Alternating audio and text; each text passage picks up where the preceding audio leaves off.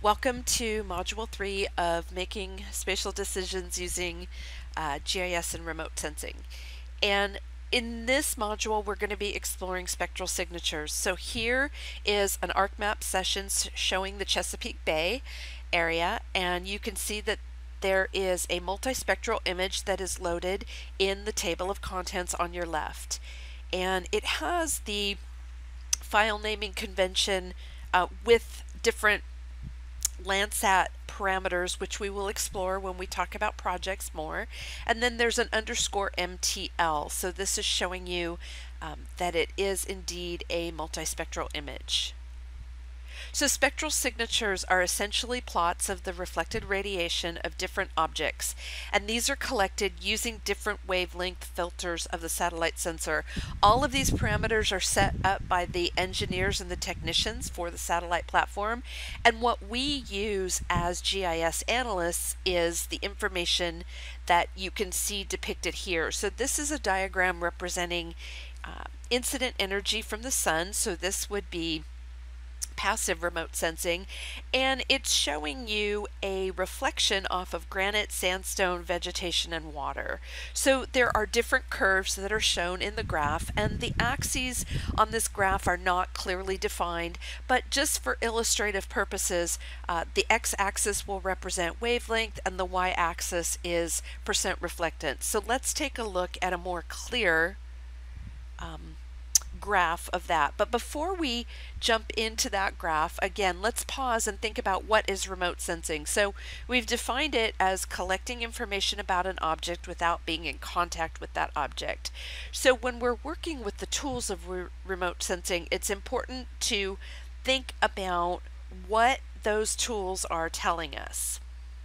So a spectral signature, well, a definition, it's a pattern of electromagnetic radiation that identifies a chemical or compound. So this graph is much clearer and easier to read.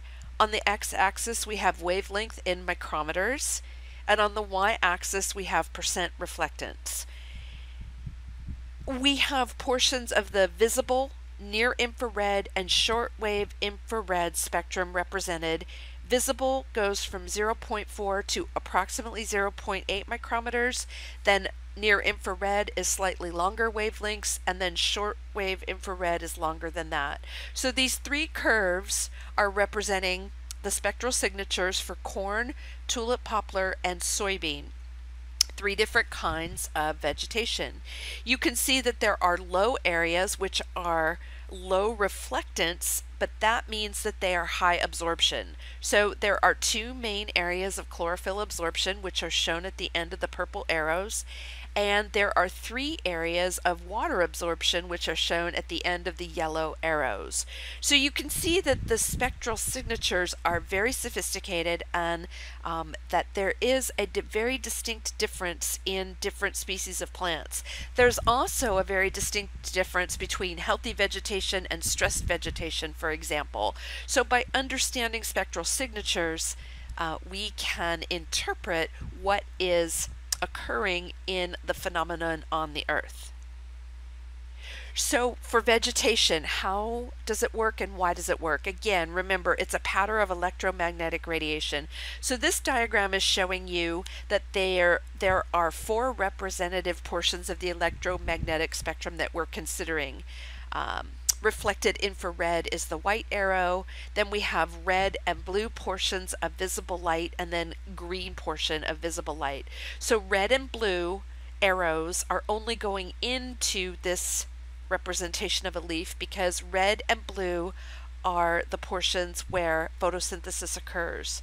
The green and the infrared are being reflected, and this is why healthy vegetation appears green to our eyes and there is a strong reflection of infrared energy. Now, we as humans don't see infrared energy, uh, but we can sense it with our remote sensing tools.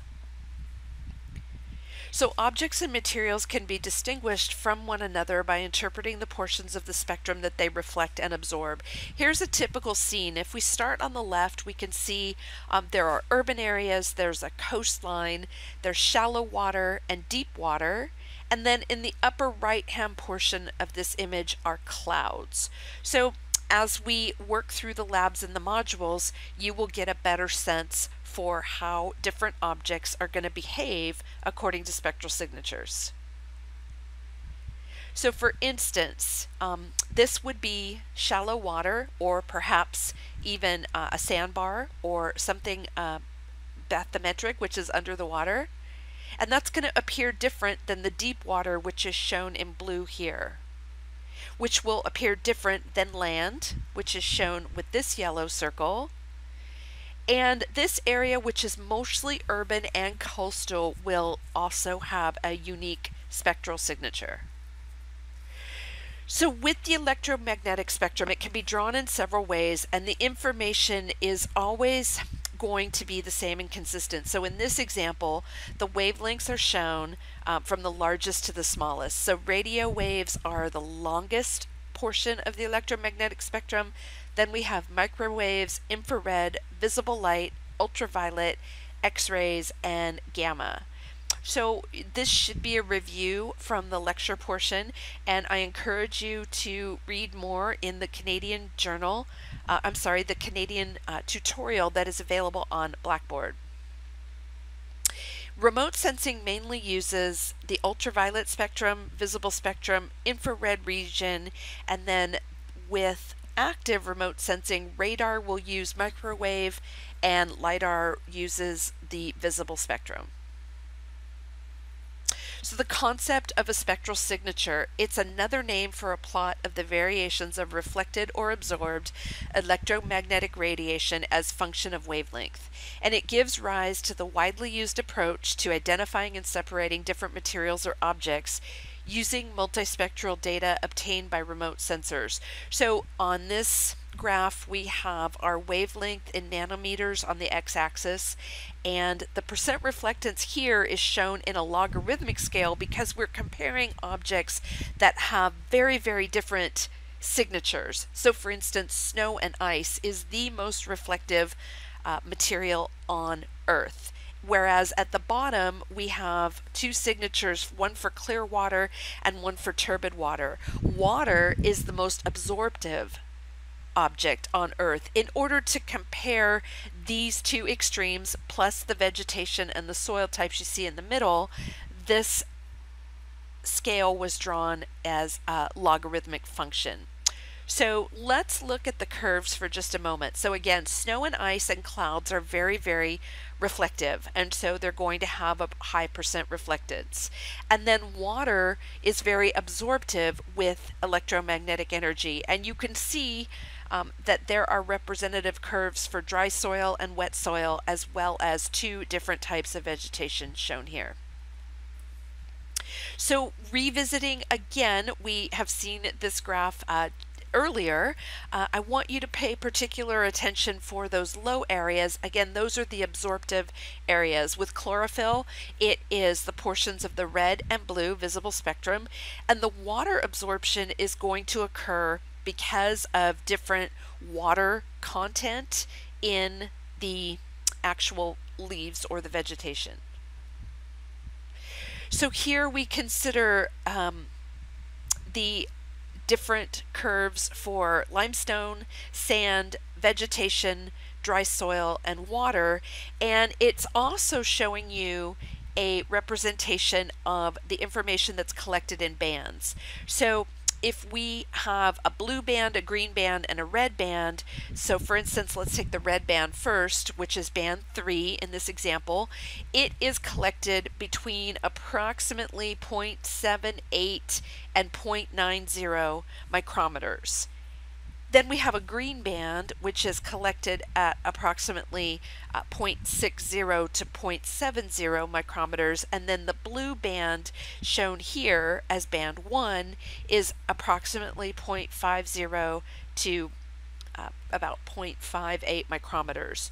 So the idea of this graph is showing you that each sensor has a band designation which again is established by the engineers on that sensor before it's launched, and that band will collect information only in that portion of the electromagnetic spectrum.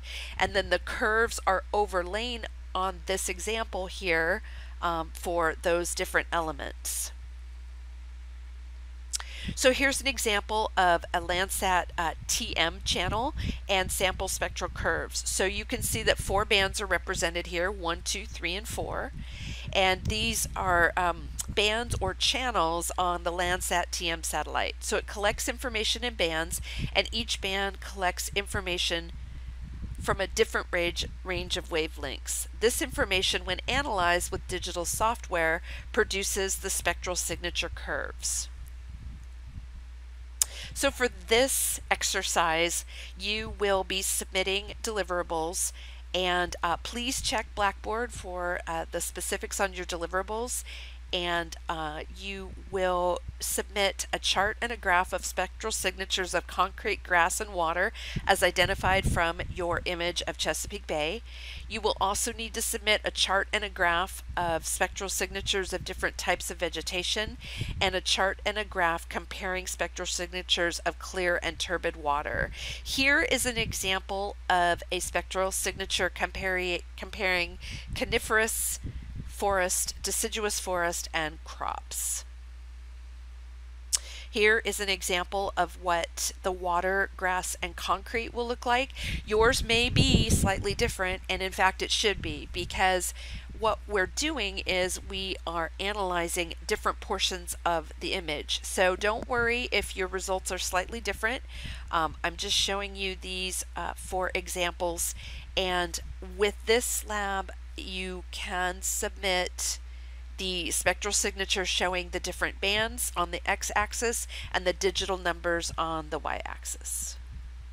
And here are the spectral signatures for vegetation, coniferous, deciduous, and crops. And finally, the spectral signatures for water with a uh, distinguishing difference between clear and turbid water.